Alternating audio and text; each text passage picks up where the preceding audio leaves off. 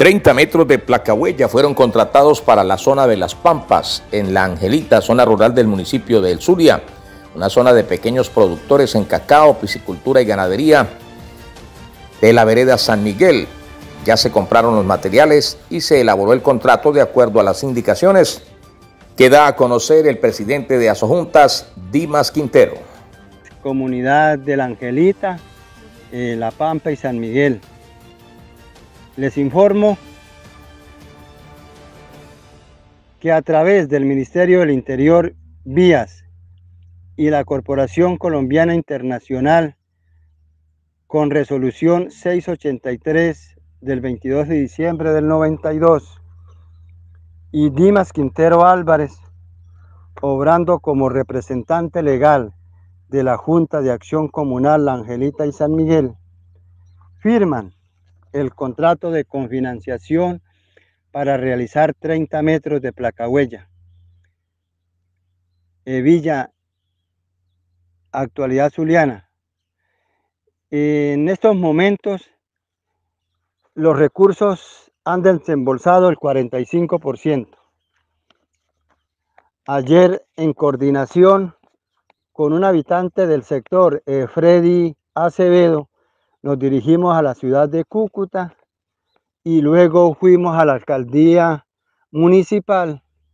donde le expusimos al señor alcalde el proyecto que va a ejecutar la Junta de Acción Comunal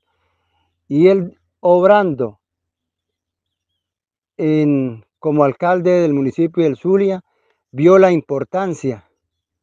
del proyecto que firmó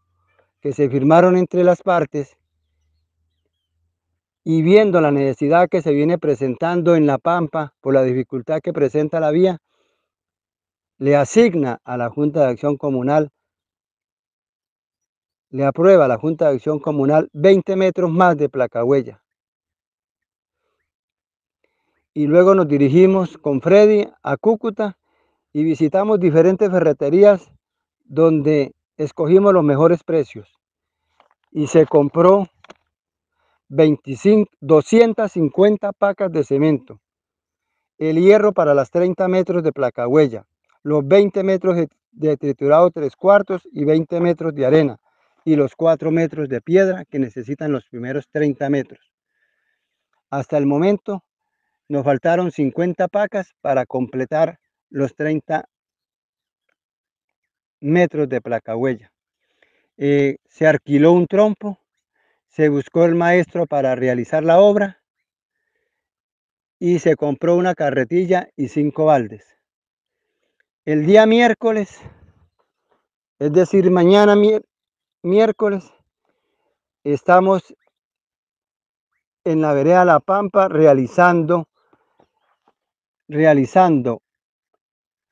la nivelación y, el, y la nivelación y el replanteo para em, empezar el encofrado de los 30 metros. La meta que lleva la Junta de Acción Comunal La Angelita es con estos recursos que da el Ministerio del Interior lograr llegar a 50 metros y con la aprobación de los 20 metros que da la alcaldía, la alcaldía del Zulia, que son 20 millones de pesos, lograr hacer 40 metros. Yo creo que eh, se ven la necesidad y lo que se viene diciendo el gobierno nacional, que los mandatarios de los municipios empiecen a contratar con los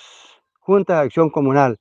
y se le abona al alcalde municipal la importancia de empezar a ejecutar obras con la Junta de Acción Comunal. Es la importancia que debemos realizar y es la importancia, invito también a los presidentes de Junta, que estos recursos se inviertan de la mejor manera para darle y demostrarle